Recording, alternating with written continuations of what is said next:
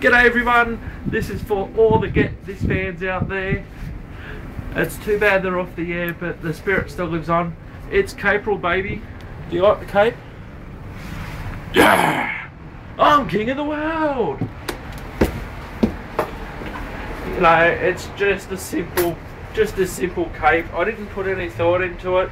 And I've left it to the last, last possible minute and there's quite a bit of dodgy camera work going on.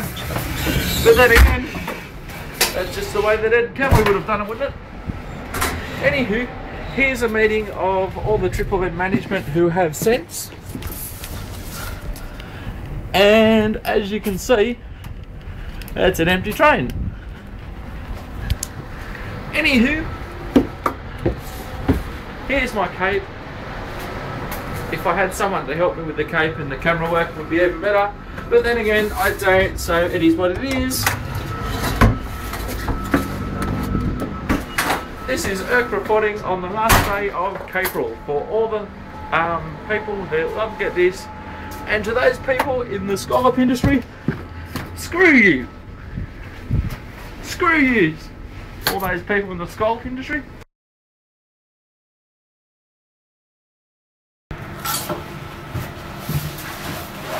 G'day, I'm Erk, and it's the 30th of April, and yes, I've left it to the last minute, yes, I've done no preparation, and yes, I've just used whatever material I have around me, but this, ladies and gentlemen,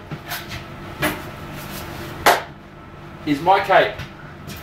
It's my celebration of April. Get this fans, we will be back, but to all the thugs in the scallop industry, screw you! Screw you! Erkpod.com.au Screw you, thugs! How come?